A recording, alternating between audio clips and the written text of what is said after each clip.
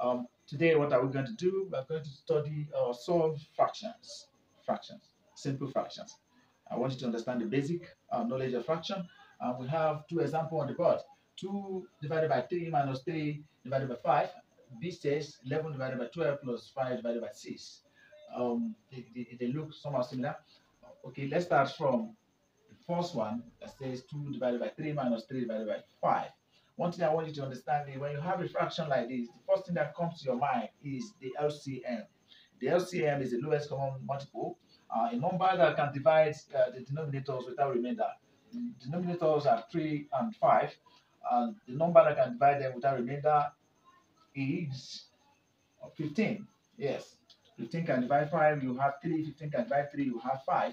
So what the next thing you will do when you have a fraction in this form is to draw a line. Make it simpler, draw a line, draw a line. And draw a line, write the LCM, which is 15. 15 divided by 3 is 5. 5 times 2 is what? We have 10. Minus 15 divided by, by 5 is 3. 3 times 3 is what? Is 9.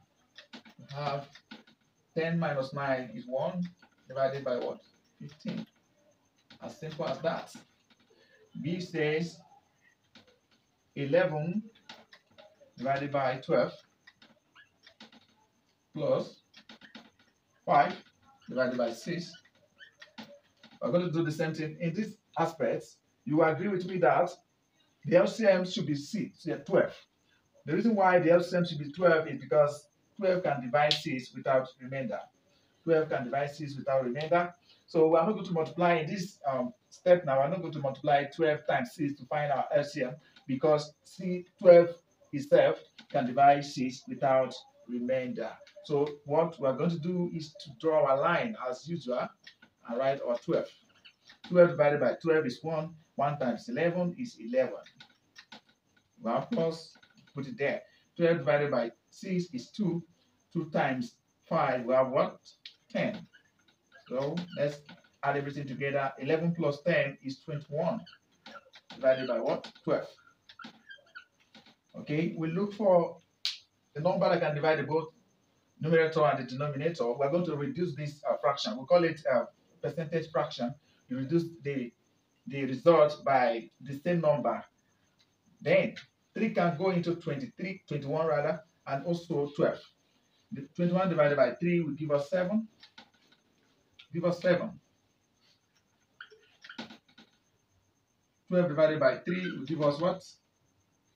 4. So it's still the same as 4, 1, 3. This way. Yes. I used to say 4 times 1 is 4 plus 3 is 7. As simple as that. I always say that. We can make math look more fun and look more simple for ourselves. Please, if you haven't subscribed to my channel, I want you to click it right now. There are many videos that you'll be seeing in my channel. I want you to click on it. Subscribe to my channel. You will see a lot of videos. There are some I've released already. Please click on it, like my video. I really appreciate it. Thank you so much.